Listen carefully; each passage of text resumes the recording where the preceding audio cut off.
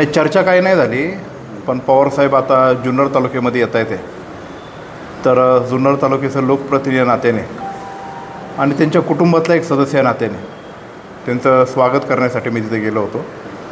याच्यामध्ये कुठली राजकीय अर्थ काढण्याचं काही कारण नाही. शेवटी पवार फॅमिली आणि आमच्या बेनके परिवाराचा गेली चाळीस वर्षाचा ऋणानुबंध आहे. जसं पवार साहेबांचा कायम आमच्यावर आशीर्वाद राहिला आहे आजीदादांचाही आशीर्वाद राहिलेला आहे. सुप्रियाताईंचाही राहिला आहे दिलीप कोळसे पाटील साहेबांचा पण राहिला आहे या सर्व नेत्यांना बघत बघतच मी मोठा झालो आहे आणि सर्व एकत्रित राष्ट्रवादी काँग्रेस पक्षाचा आमदार म्हणून या जुन्नर तालुक्यातून मी निवडून आलेलो आहे. आपल्याला माहीत असेल की जेव्हा राष्ट्रवादी काँग्रेस पक्षामध्ये जे काही स्थित्यंतर झाली मी तब्बल सहा महिने माझ्या तटस्थच्या भूमिकेमध्ये होतो. आणि नेमकी पवारसाहेबांबरोबर जायचं का दादांबरोबर जायचं हा माझ्या मने म मनामध्ये प्रश्न कायम घोळत होता. पण शेवटी मी तालुक्याचा लोकप्रतिनिधी आहे. मी आमदार आहे. जुन्नर तालुक्यातल्या ग्रामीण भागातले लोक अनेक विकास कामाच्या दृष्टिकोनातून अपेक्षेने माझ्याकडे येत राहिली. आणि म्हणून अपेक्षेच्या. माध्यमातून अजितदादांकडं राहण्याचं मी ठरवलं आणि जुन्नर तालुक्याला मी न्याय देऊ शकलो. याच्याबद्दल माझ्या मनामध्ये समाधान आहे. दोन सिंचनाचे मोठे प्रकल्प एक चिलेवाडी पाईपलाईनसाठी शंभर कोटी आणि वडज उपसासाठी पस्तीस पॉईंट पाच कोटी एवढे मी आणण्यामध्ये यश प्राप्त केलेलं आहे. आणि अनेक असे विकास कामे पथदर्शी प्रकल्प जे मला करायचे आहेत त्याचबरोबर आज डी पी सीची मिटिंग आहे. आणि पठारावर परंतु पाणी नेण्यासाठी आज डी पी सीतून मी डी पी आर मंजूर करण्यासाठी चौसष्ट लाख रुपये आज पालकमंत्री यांच्या माध्यमातून ते मिळणार आहे. मला अनेक पठाराचे जे चार गावं जे तहानलेले आहेत तिथं पण पाणी न्यायचं आहे. आणि त्याच्याकरता मला दादा एवढे मोठ्या प्रमाणात मदत करत आहेत. तर ते जुन्नर तालुक्याच्या हितासाठी मला ते काम करणं गरजेचं आहे. आत्ता अतुल बेनके अजित पवार गटात आहेत की शरद पवार गटात आहेत? माझी राजकीय भूमिका मी या आधीच स्पष्ट केलेली आहे आणि त्याचा उल्लेख मी केलेला आहे. त्याचा सारखा वारंवार उल्लेख करण्यात काही अर्थ नाही. हे आत्ता पवारसाहेब म्हटले की अतुल बेनके सगळ्यांनी विचारला प्रश्न की अतुल बेनके अजित पवार गटातून शरद पवार गटातून गेले. तर ते म्हणले की ते आत्ता हल्ली कुठल्या पक्षात आहेत असा शरद पवारांनाही प्रश्न पडला आहे की अतुल बेनके नेमके कोणत्या पक्षात आहेत? मी राष्ट्रवादी काँग्रेस पक्षामध्ये आहे. कुठल्या? कुठल्या काय म्हणजे? जो राष्ट्रवादी काँग्रेस पक्ष आहे. की तुतारी?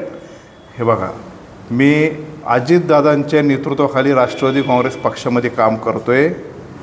मी लोकसभेच्या निवडणुकीच्या वेळेस आढळराव पाटलांचं राष्ट्रवादी काँग्रेस पक्षाचे जे उमेदवार आहेत त्यांचं प्रचाराचं काम केलं.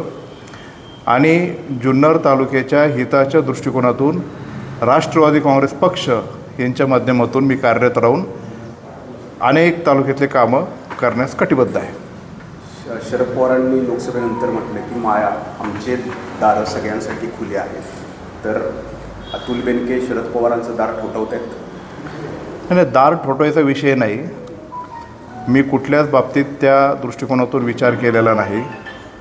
किंवा अतुल तू इकडे ये असंही ते मला कधी अजून काही म्हणालेले नाही. राजकारण हे राजकारणाच्या पातळीवर चालत राहील. अनेक स्थित्यंतरं मी आमदार झाल्यापासून पाहिलेली आहे. डे वनपासून तुम्ही पण सगळ्यांनी पाहिलेले आहे. जे महाराष्ट्राच्या पन्नास वर्षाच्या राजकारणात एवढी घडली नसेल तेवढी या पंचवार्षिकमध्ये घडली. अजूनही काही स्थित्यंतर होतील याच्याबद्दल माझ्या मनामध्ये काही कल्पना नाही आणि काही सांगूही शकत नाही. पण त्या सगळ्या गोंधळात पाडण्यापेक्षा जुन्नरच्या हितासाठी ज्याच्यासाठी मला लोकांनी निवडून दिले ते काम आपण डोकं विचलित न ठेवता मन शांत ठेवून जुन्नरसाठी मला जे करता येईल ते मी करत राहणार. अतुल बेनके आगामी विधानसभेत घड्याळचे उमेदवार असतील की तुतारीचे उमेदवार असतील? कसं आहे? विधानसभेच्या निवडणुकीला अजून दीड दोन महिन्याचा टाईम आहे. त्या विधानसभेच्या निवडणुकीच्या वेळेस सामोरं जात अस जात असताना काही होऊ शकतं. काही म्हणजे काही. त्याच्यावर आत्ता लगेच भाष्य करण्यात काय अर्थ आहे का? यदा कदाचित महायुती म्हणून आम्ही जेव्हा पुढं जातो आहे तर महायुतीतून सीट शेअरिंगवरून काय होऊ शकतं. यदा कदाचित दादा आणि साहेब एकत्र येऊ शकतात. म्हणून त्याच्यावर मी एक छोटा घटक आहे. मी फक्त दोनशे अठ्ठ्याऐंशीपैकी जुन्नर तालुक्याचा एक लोकप्रतिनिधी आहे. आणि म्हणून पुढं जात असताना काय होईल आत्ता मी कसं काय सांगू शकतो? आज काय चर्चा झाली? पवार साहेबांबरोबर आज काय चर्चा झाली? पाऊस काय अजून एवढा पडलेला नाही. मध्यंतरी पाऊस आला जरा दुबार पेरणीचे संकट थोडं टळलं.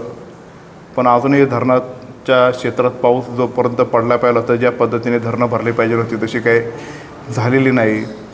काळ गुळून सोडलेला ॲक्सिडेंट झाला त्याच्याबद्दल चर्चा झाली. त्याच्यावर काय काय उपाययोजना करायच्या ते खासदार साहेबांनी मी आम्ही साधक बाधक चर्चा करून साहेबांना थोडंसं ब्रीफ केलं. अशा गोष्टी झाल्या डॉक्टर साहेबांच्या घरातले काय विषय त्यांनी तो गाईचा गोठा केला आहे सात गायांचा गोठा आहे. तिथं काय काय वेगळ्या वेगळ्या प्रजातीचे काय काय करतात कशी ब्रीडिंग करतात असं त्यांनी ती चर्चा केली. याच्या व्यतिरिक्त काय राजकीय चर्चा काही नाही झाली. अमोल कोल्हे आणि अतुल बेनके हे जुने मित्र आहेत आणि या निमित्ताने दोघांचा सूर सध्या जुन्नरमध्ये एक दिसतोय. तुतारीत जाण्याचे हे संकेत आहेत मी अमोल कोल्हेचा जवळचा मित्र आहे. मित्र होतो आणि मित्रच राहणार. याच्यामध्ये कुठल्याही प्रकारचा राजकीय अर्थ काढण्याची गरज नाही. कसं आहे? निवडणुकीमध्ये आरोप प्रत्यारोप हे चालूच राहतात. आणि मी जे काही बोललो ते तेव्हा त्या निवडणुकीच्या वेळेसचं जे काही भूमिका असेल ती मांडली. पण लोकांनी भरघोस मतांनी त्यांना निवडून दिलेलं आहे. आणि म्हणून त्याच्यावर आत्ता काय परत वेगळं भाष्य करणं आणि अजूनही ते टीका करत राहणं याला काय अर्थ नाही. शेवटी ते आपल्या विभागाचे खासदार आहेत. मी आमदार आहे.